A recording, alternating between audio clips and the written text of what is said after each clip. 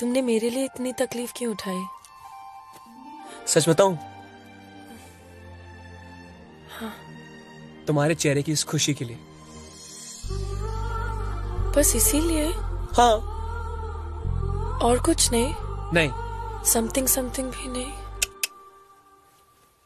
हाँ? व्हाट